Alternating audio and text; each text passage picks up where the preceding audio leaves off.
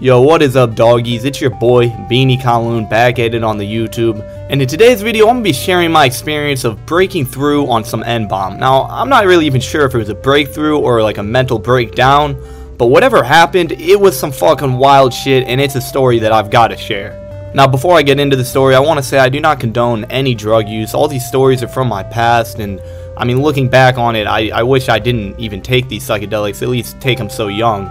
But shit, dog, I've already taken all these psychedelics and that's in my past, and honestly, it would be a sin not to share these stories. Also, before I get in this story, I should probably share what N-Bomb is for those of you who are not aware. Now, I'm no drug expert, there's tons more YouTube videos out there that can better explain these compounds. Specifically, I would recommend a guy called The Drug Classroom. His YouTube channel is absolutely goaded. He'll cover nearly every single compound you can think of, and he'll tell you like the complete history of them, the worries, the dangers of them, the effects of them, like dosages you should take, just everything you need to know check out the drug classroom. But I'm going to try to break down what N-Bomb is the best I can. N-Bomb is a drug with very similar effects to LSD and is oftentimes sold as LSD due to the fact that people can get this compound much cheaper and there's just a higher rate of profits to sell N-Bomb. The biggest difference and probably worry that most people have about N-Bomb is the fact that you can die off this compound, unlike drugs like LSD which are physically impossible to overdose on. Now as far as I can tell, if you're taking a safe amount of N-Bomb, it's actually like nearly impossible to die on it, but the thing is, when you're buying drugs like LSD or N-Bomb, a lot of the times you're not going to know how much you're really getting. And people have died off of as little as two tabs of N-Bomb, so you have to be really careful with this kind of stuff as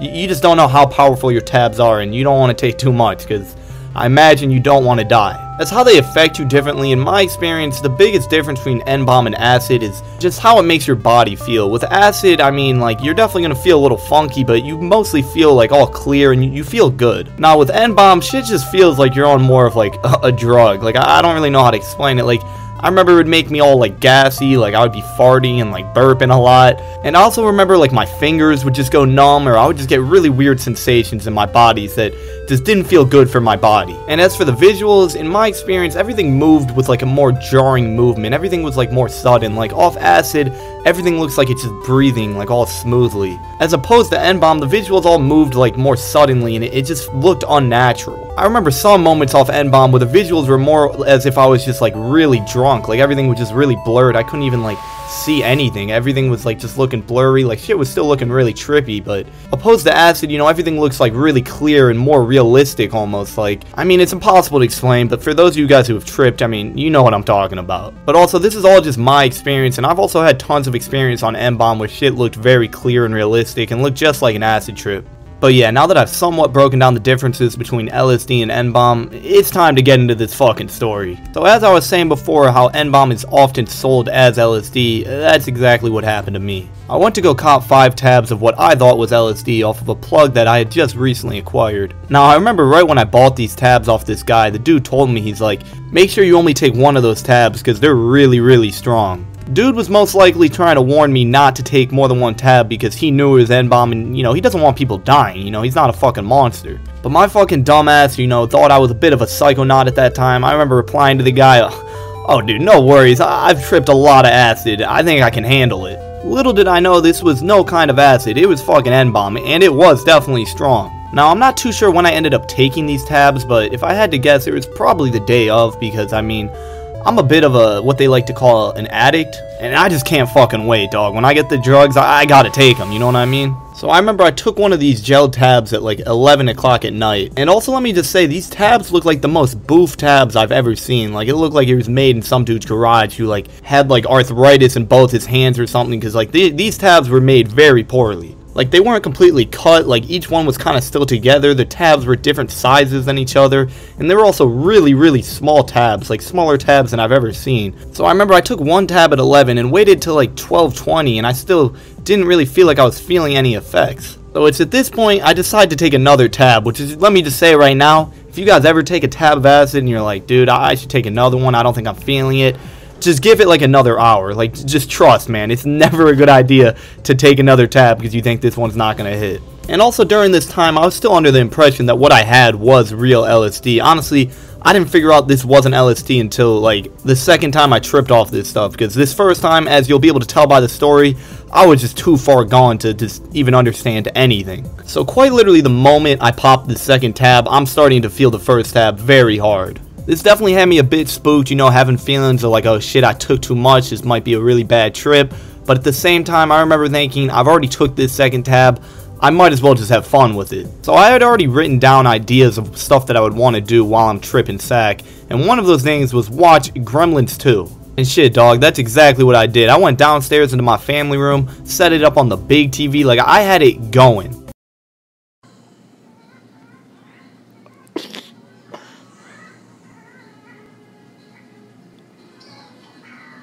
Holy. Bro. What the?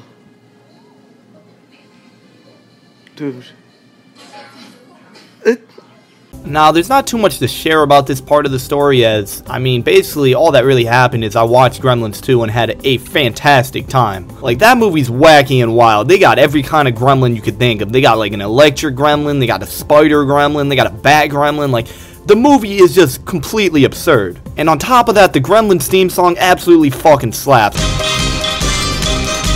Like, that shit had me fucking getting rowdy during my trip. So yeah, Gremlins 2, a fantastic time. I'd highly recommend it to anyone that's tripping sack. Now, I will say, I mean, it could be like a little bit scary because it is, it's like a children's horror movie, but I mean, if you're into that kind of stuff like I am, like, it was one of the best movies I've ever watched while tripping sack. That's all I can say. But yeah, after this is where the trip really starts going downhill a bit. So my next activity that I had planned that I decided to do was to play COD Zombies online with just some random people. In my head, this sounded like a fantastic idea, as I love COD Zombies and just meeting some random people while you're tripping sack, like, it, it, it just sounds very interesting, but little did I know, people in COD lobbies are not always the nicest people. Hey, I always give a shit from that. Bobby, shut the fuck up. You tell me to shut the fuck up. You, you don't even know me. Can we I'm stop talking to running our mouths? Nancy knows what I. Stop. I remember I joined up of a game of COD Zombies Origins, you know, thinking I was about to get myself the ice staff, you know, I was about to be balling, having a great time with the boys. But I remember I joined this lobby, and you know, first thing I tell these dudes right when I joined the lobby is, I'm tripping on acid. And I remember all the people in this party get really excited and you're like, oh, we gotta play with this kid. And they invite me over to like a private match. And we started running some Origins. And you know, everything seems to be going fine for a bit until this one guy just starts loudly like screaming like, fuck you, like kill yourself, like just all this crazy shit. I remember thinking and hearing like one of the dudes in the party talking about how this dude was also on some like really crazy drugs. Like we were both just tweaking out. They're like, dude, we got two tweakers in this party. And you know, this, this shit made me feel shitty because like one of my biggest, you know, like fears or whatever whenever I'm tripping on psychedelics is just that like I will become a drug addict or something like that, you know, like that I'll just destroy my life with drugs and you know, these people calling me a drug addict, you know, it wasn't making me feel good. But I didn't even think to like leave this party as I was just so confused and I was trying to figure out what was going on. I was like, this dude's also tweaking out. Like, I, this shit was just too crazy. I couldn't leave. And also, the fourth member of this party, if I remember correctly, was actually being like really nice the whole time and telling the one dude to calm down. And you know, this made me want to stay in the party. So in this party, I got one dude that's just tweaking on some drugs, screaming out profanities, or at least acting like he's tweaking on some drugs. Another dude who just finds all this absolutely hilarious that he has two people in this PlayStation party that are on some wild drugs, and he's trying to like stimulate a fight. He's trying to just get some shit going that he finds funny. And then this fourth dude who is just like an absolute saint, you know, trying to get everyone to relax, but honestly, it was because of this dude I just didn't leave the party, and I wish I had. So I played this game of COD Zombies for God knows how long with this one dude just constantly just angrily screaming about all kinds of stuff and you know this was obviously tweaking me out like any kind of hostility on any kind of psychedelics like it's gonna scare you man. But I remember at some point our game just fucking crashes as COD Zombies always fucking crashes. It's, it's actually really annoying but a bit of a blessing in this situation, I mean, if you really think about it. And after this game crashes, I remember getting invited to like a private party with who I believe was the, you know, guy who was being really nice throughout the whole time. And I don't remember what this dude was saying, but I remember somehow I felt like this dude just knew me. Like, I felt he was bringing up stuff like from my past that he couldn't have possibly known about. I, I just don't remember at all like what he was saying, but I remember like just getting a sense that like I wasn't just talking to some normal dude. I was I was talking to like some god or like a spirit or something very wacky. But what I do remember, and this is when shit gets extremely wacky, is I asked this dude like, who are you or something, and I, I shit you not, this man replies back to me with, I'm God. Right after this, my vision just goes completely white. Like, all I can just see is this, like, white clouds and just, like, it looks like I'm in heaven. And then I remember meeting the man himself, fucking God. But God just looked like some normal dude, and he was chill as fuck. I remember, like, I just talked to this dude. I'm like, so you're God? He's like, yep. I'm like, that's pretty cool. He's like, yeah, it's pretty cool. And we just had, like, the most casual conversation, and it was just very weird. And I, I remember asking, like, so all this is real? And he's like, yeah, this is all entirely real. God is real, like, stuff like that. And then I remember right before I got sent back, he was like, yeah, this is all real, but you're not going to believe any of this. And this is the part of the trip that really, you know, still kind of fucks me up because, I mean, dude was right. I don't believe any of this. Like, it, just sounds like nonsense. I think I had, like, some kind of, like, mental breakdown during this trip, but, like, he did say I'm not to believe any of this, so fuck, dude. Maybe it all was true, but I, I don't know. But yeah, I go back to my body, and first thing I do is pull out my phone and start texting every single person on my contacts. Oh my god, God is real. It's insane. This is the most wonderful thing. I remember even posting a video on my story of me like literally crying, just saying like, oh my god, I, I, can't believe it. God is real. This is just, it's just so beautiful. Just looking like an absolute tweak. Luckily, all this shit happened at like 5 in the morning and I ended up deleting it like 8 in the morning, so it only got like 30 something views, but Still, 30 people saw me just tweaking the fuck out. But yeah, there I was just texting everyone on my Snapchat. Holy shit, guys, God is real. It's pretty crazy. And I remember I went to go play some music to celebrate, so I look up on Google, you know, one of my favorite artists, Kanye West. And at this time, his most recent album was Jesus is King. So when I looked up Kanye West, all this like Jesus stuff started coming up. And I was like, holy shit, just more evidence that God is real? Like, of course God is real. And I started playing some Jesus is King. And I was getting pretty lit to it. And I also remember getting these really weird thoughts that like my brother, like he also knew God was real and that I have to tell him this story like once I got sober whatever and like he'll, he'll let me in on all these secrets about, you know, God being real and shit like that. While in actuality, I mean, I don't think this dude does like believe in God. I mean, as I mean, he might believe in God. I don't know what the dude believes in. I mean, he's probably like me where he just he doesn't fucking know. But at this time, I was envisioning my brother as like some fucking like priest or something like that, like someone who just knows all about God, you know, knows know all you need to know. And also, I feel like I should share that this is the same brother that I met on my DMT breakthrough. If you want to check out that video, I, I met my brother and he told me that like he was God and everyone was God. Now, I still haven't told my brother about any of this because I still just think it's because like I have a close relationship with this brother and you know I know he's done other drugs in his past so like I feel like it's more just my mind saying this than that my brother and me are actually connected in both God but the fact that this happened twice to me it does kind of get me thinking you know I can't lie. And during this time like right after I met God I would say I was having like a pleasant time like one of the most wonderful times ever but like something just felt off about it. Like it, it, didn't feel like it was real, or I was I was also feeling very confused. And I remember in the process of texting all these people, you know, God is real and shit like that. I called a couple people, and one of my friends, you know, ended up picking up, and this dude was completely sober. As you know, I had just woken him up. It was like 6 a.m. and you know, I just woke him up from his sleep, and you know, just hearing this sober dude, like he just kind of let me know. He's like, "Yo." what you're sound what you're saying right now doesn't really make sense. So you met God and your brother or whatever is like also God and at this point, I, I really realized, alright, maybe none of it did make any sense. And I remember right after this being really stressed out and confused about what had just happened. I remember I was just like sitting down with my eyes closed, literally just gritting my teeth as hard as I could, trying to figure out what happened. And I remember one of the visuals I saw was like a bucket that said like anxiety, another bucket that said paranoia, and another bucket that said like depression, and they just all started overfilling. And it's at this point I somewhat came to the realization that all right, it's just a bad trip, and there's there's no sense to make out of this, and you know trying to make sense out of this is just going to confuse me even more. And I remember I ended up going up into my room and just trying to go to sleep. But going to sleep was absolutely no luck. It was like 6 or 7 a.m. and I had taken one tab at 11 and one tab at like 12:15. Like I was still tripping very hard. And also, even though I said I realized, you know, maybe just none of it made any sense, I still just couldn't stop thinking about it. Like, I was like, what happened there? And also, I kept thinking, remembering that the dude told me you're not going to believe any of this. And, you know, that was just like really making me think, like, I, I don't know, was it real, was it not?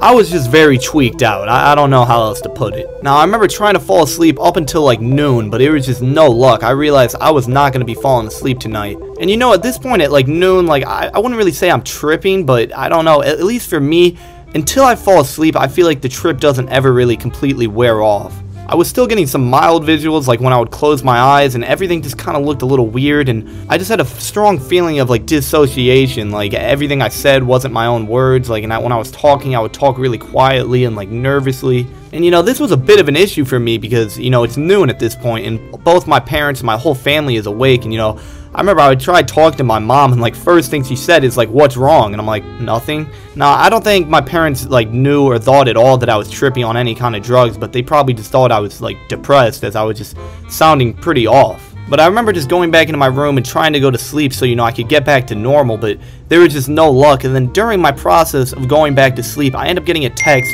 from one of my coworkers at Chipotle asking if I could cover their shift from 4 to 11 and this is where I made the absolute worst mistake of my whole trip, worse than playing fucking COD Zombies. I fucking respond back to this person, yeah, sure.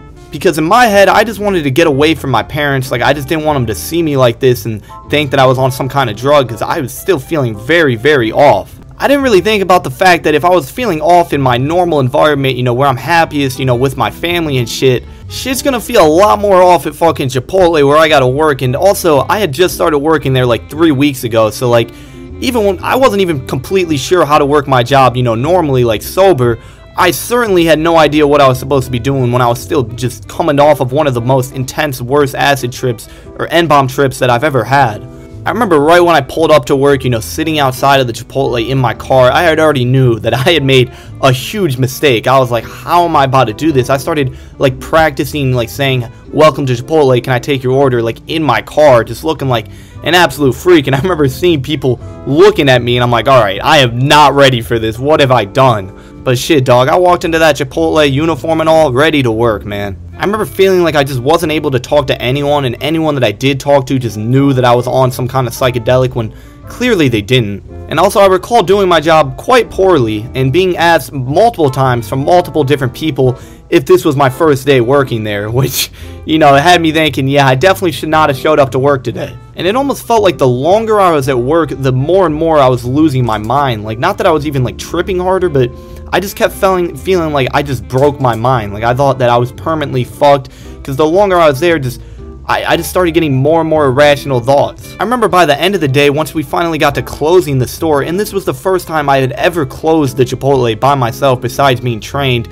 and like closing it, you gotta clean everything up, you gotta make sure the floors are like spotless, you know, it's a lot of shit you gotta do. And dog, I did not do fucking shit. I, I, didn't even know how to like use a broom at this point. Like I remember trying to broom some shit up and like I might as well have been holding that broom upside down the way I was using it. Like I did not know what the fuck I was doing. Luckily for me, the closing manager that day was an absolute saint and she saw that I was struggling. I think she knew that I was either on some kind of drug or just really, really fucking depressed. And I remember constantly asking this girl, like, is this good enough? And like every time at first she was like, no, you still gotta do this, you gotta do this. But then one of the times I asked, she was just like, yeah, that's good enough. And then I know damn well that girl had to spend another like two hours just fixing my clothes because, you know, my dumbass couldn't do it. So I highly appreciate that girl. You know, she, she ended up quitting like or getting transferred like two weeks later. So never really saw her again. But she was a real one. And also, you know, once you get off work, you know, you got to clock out. And I managed to forget my clock out pin even though I remembered it like when I got there. I knew what it was but I forgot it over the course of working because like as I was saying I felt like my mind was getting more and more fucked. Like I remember literally the only thoughts going through my head were yeah I've permanently fucked up. I've really done it this time. I'm never going back to normal. It's thinking some really paranoid shit you know? I remember on the drive home just praying to God that you know everyone in my family is asleep so you know I just don't have to deal with any of them. Because like the whole reason I wanted to work is so I wouldn't have to you know deal with my family and them see me like this. But then going to work just fucked me up even more. So now I was far more fucked up than if I would have just stayed at home and, you know, just dealt with my family normally.